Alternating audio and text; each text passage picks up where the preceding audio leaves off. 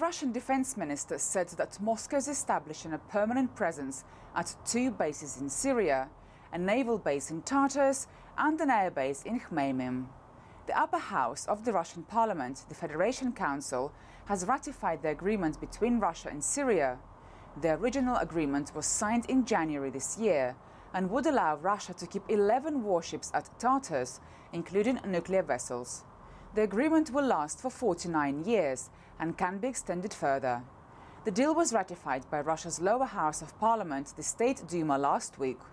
This comes after Russian President Vladimir Putin met this weekend with officials from the Russian parliament.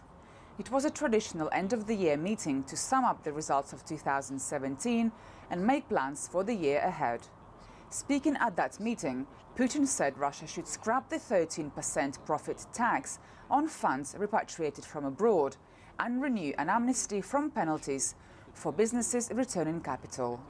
Putin had not previously spoken about these two initiatives publicly. Speaking at the same meeting, Vladimir Putin also commented on the situation in Afghanistan.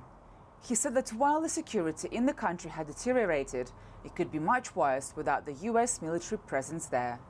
Julia Lyubova, CGTN, Moscow.